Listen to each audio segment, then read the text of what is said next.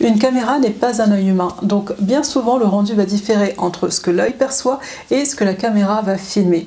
C'est pour cela qu'un bon éclairage peut faire toute la différence.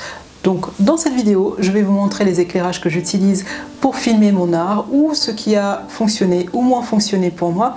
Mais juste avant de commencer, permettez-moi de me présenter pour ceux qui ne me connaissent pas. Moi, c'est Nadège et régulièrement, je poste des vidéos sur YouTube de peinture, des vidéos artistiques. Et plus récemment, je suis également sur Patreon où je vous propose des tutoriels de démonstration en temps réel de peinture également. Donc, si vous souhaitez aller plus loin dans votre pratique artistique, n'hésitez pas à me retrouver sur Patreon. Je mets un lien juste en bas dans la description. L'intro est finie, maintenant place à la vidéo. Pour moi, un bon éclairage, c'est celui qu'on peut régler en intensité et en température de couleur. C'est celui qui est rapide à installer et désinstaller, qui est mobile et qui ne prend pas trop d'espace de stockage. Et pour moi, également, il ne faut pas qu'il consomme de trop. À mes débuts, j'ai commencé avec des parapluies de studio de type softbox. C'est un système d'éclairage qui a l'avantage d'être vraiment très puissant, mais également il est très consommateur en énergie. Donc du coup, je préfère le réserver principalement pour la photographie. Et l'autre inconvénient majeur, c'est que l'ampoule est amenée à s'user et à être changée.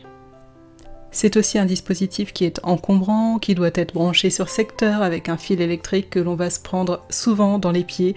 Il est long à mettre en place et en général, à force, on a tendance à le laisser assembler pour éviter d'avoir à le monter à chaque utilisation. Donc pour moi, les parapluies de studio ou les softbox ne conviennent pas aux petits espaces.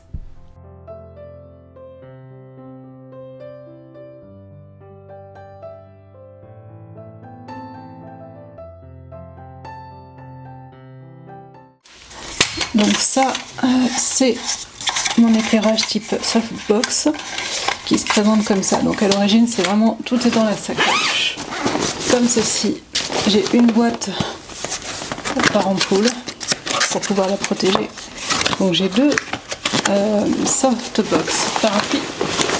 Et en gros, il faut faire le montage de l'ampoule, de cette partie, la tête du trépied, du trépied et du parapluie. Et en sachant que le tout doit être branché avec un câble d'une longueur de, je dirais, 2 mètres maximum. Donc assez souvent quand j'utilise euh, ce système-là, euh, je dois le brancher également sur une rallonge parce que 2 mètres c'est pas suffisant pour avoir suffisamment de distance et de recul avec euh, un tableau et voilà, ça risque de griller un peu les pixels. Les panneaux de lumière sont ma solution préférée quand il s'agit de faire des vidéos et des photos de peinture. Je peux régler la puissance et la température de l'éclairage en degrés Kelvin ou Kelvin, je ne sais jamais comment le prononcer celui-là. Donc les panneaux sont rapides à installer et à désinstaller. Il y en a certains qui vont fonctionner sur batterie et qui permettent de s'affranchir de l'éternel fil électrique. Par contre, le seul inconvénient que je lui trouve, c'est que la lumière est plus directionnelle que diffuse, donc il y a un risque de surexposition en cas de mauvais réglage. Donc ça, c'est mon panneau lumineux qui est tout blanc de ce côté-ci. Et de ce côté-là, il y a euh, un petit écran, un moniteur qui permet d'avoir des informations. Donc quand je l'allume, déjà, ce que j'aime bien, c'est ça, c'est cette couleur très douce et euh, qui fait pas vraiment euh, euh, LED très très éblouissante. Donc c'est quand même assez doux, même si ça peut être très puissant. Hein. Si c'est orienté sur quelque chose en fait, on voit voilà, ça éblouit quand même pas mal. Et l'autre chose, c'est que dessus, j'ai toutes les informations. Donc le pourcentage d'éclaircissement, donc l'intensité d'éclairage plutôt. Voilà, un bas, fort. Euh, et je vois le pourcentage défiler. Je sais aussi, euh, je règle la température des couleurs, chaude,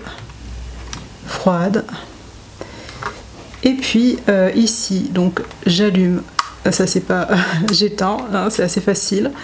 Et là c'est pour le rechargement. Donc euh, ah oui, j'ai oublié d'expliquer, celui-ci il est sur batterie. C'est vraiment un grand atout pour moi. Je peux l'emmener où je veux. Je n'ai pas besoin d'avoir un fil constamment à mes pieds. Donc et ça dure quand même assez longtemps cette batterie. Donc euh, là je l'ai utilisé par exemple sur une séance de peinture qui m'a duré à peu près une heure et la batterie est toujours pleine. Donc ça peut donner un ordre d'idée à peu près. Euh, l'autre chose, c'est ça. Donc, soit on peut l'installer euh, sur un trépied photo. Donc, normalement, il y a tout qui est fourni, donc ça dépend après la marque que l'on prend. Et euh, moi, ce que je préfère utiliser, ce sont des pinces. Pareil, un matériel de photographe. je ne sais pas comment ça s'appelle, pince pour appareil photo. On trouve assez facilement ce genre de choses, assez robuste, et qui permet de s'orienter avec Hop, là elle est coincée, mais voilà, là ça permet d'orienter comme on souhaite le panneau LED, ça permet de le coincer et ça permet de le clipser partout où on veut. Donc moi en général j'en mets un sur le chevalet et un à l'arrière euh, euh, qui est légèrement sur le côté. Ici c'est juste le recharge. Ça c'est juste le chargeur de batterie. Ça, c'est celui qui est juste au-dessus de mon chevalet. Donc en général, je l'oriente soit à l'envers, soit à l'endroit par rapport à mon chevalet, mon support en dessous. Euh, quand je le mets comme ça, c'est que je trouve que la lumière est vraiment trop forte et que j'ai besoin qu'un tout petit peu d'éclairage, par exemple s'il fait jour. À l'inverse, quand il fait nuit et que j'ai besoin d'un peu plus d'éclairage, donc ça dépend, je peux le retourner ou pas, mais euh, le risque c'est que la lumière soit beaucoup trop forte en fait pour la peinture que l'on est en train de réaliser et que ça fasse quelques reflets. Donc le rendu, lorsque je vais l'allumer, donc là, nous sommes à combien de pourcents? 93% d'éclairage à 5000 euh, Kelvin, degrés Kelvin. Et donc ça m'éclaire énormément le plafond et la lumière est projetée petit à petit du plafond vers le bas. Alors, pour bien régler la température des couleurs, il faut savoir que tout ce qui est situé en dessous de 5000 degrés Kelvin, euh, c'est des couleurs chaudes, donc un peu plus jaunes, et au-dessus de 5500, ça va être des couleurs froides, donc plutôt bleutées. Donc la température idéale, en général, quand on veut reproduire la lumière du jour, est située entre 5000 et 5500 degrés Kelvin.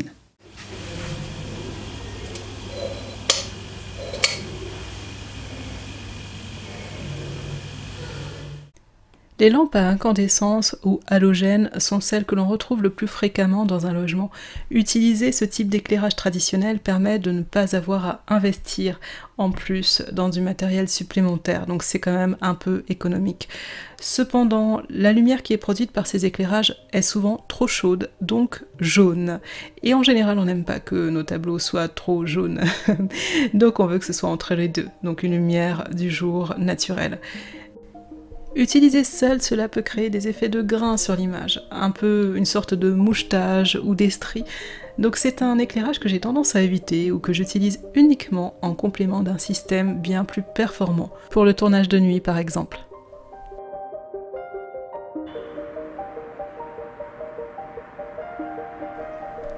La lumière du jour est de loin la meilleure lumière qui existe pour filmer et photographier son art. La température est idéale, ni trop chaude, ni trop froide, entre les deux, c'est économique. On a juste à ouvrir les rideaux, on a juste à se placer à l'extérieur, dans un jardin, sur un balcon. Donc on est par contre dépendant des variations atmosphériques. Donc un nuage, la nuit, Personnellement, je photographie souvent à l'extérieur pour m'éviter de longs montages post-production. Enfin, un système dans lequel j'ai investi et qui n'est pas du tout adapté à la prise de vue d'art, ce sont les lampes à LED de type architecte ou bien les lampes de lecture. Donc elles produisent une onde visible à l'image sous forme de stries ou de vaguelettes mouvantes.